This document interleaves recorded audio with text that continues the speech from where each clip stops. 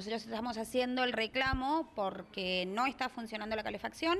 La primera nota que enviamos fue el 2 de marzo informando de esta situación y hasta el momento no hemos tenido respuestas. Desde el 2 de marzo que ustedes informan que la caldera no funciona. Exactamente. ¿Qué es lo que va pasando ahí? ¿Vienen, la miran? Mira, eh, la primera nota se envió en esa fecha, si bien es cierto que a lo largo de las semanas de abril han venido distintos contratistas a ver cuál era la situación, el último contratista que ha enviado obras públicas, que ha sido la semana pasada, hoy tenían que venir a hacer una, eh, comenzar con los trabajos de refacción y en el día de hoy se acercó para avisarnos que el calderista, quien es el que está encargado de comenzar con los arreglos, ha tenido una situación familiar que no le ha permitido acercarse.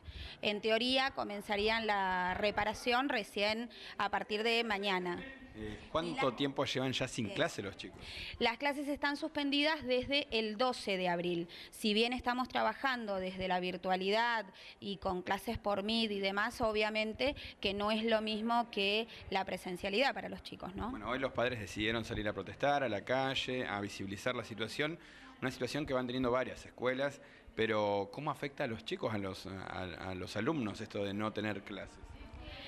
Sí, es cierto que la situación en todas las escuelas es bastante similar. Obviamente que a los chicos les hace falta el compartir con el otro, el poder aprender del otro y que no es lo mismo estar trabajando eh, por una cámara. Si bien nosotros tenemos armado un plan de contingencia, que también nos iba a permitir asistir a otras escuelas, también se torna un poco complicado para los papás porque eh, por ahí les tocaba escuelas no muy cercanas a, su, domicilio o escuelas que están sufriendo las mismas características que nosotros, ¿no?